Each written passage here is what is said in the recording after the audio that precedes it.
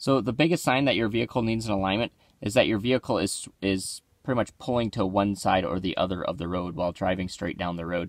Um, that's usually the telltale sign that your vehicle needs an alignment. And along with that, if your steering wheel tilts off center when you're driving, that usually goes along with uh, you're going to need alignment soon. Also, along with the steering wheel, as if it vibrates when you're accelerating, that's kind of another telltale sign uh, that you're going to need an alignment soon. Some other things to look out for is if your tire tread is uh, wearing out prematurely or unevenly, or if your tires are squealing a lot. Uh, that's another sign for uh, to get an alignment. Um, your alignment can be knocked out of whack by lots of different reasons. Um, pretty much usually after being in an accident, you should probably get an aligned, or driving into big potholes usually can uh, knock out your alignment. And also if you run over a curb. So definitely listen and watch for some of those signs, especially if you, you know, run over a curb, pothole, get into an accident, anything like that. You definitely probably need to bring your vehicle in and just get it aligned.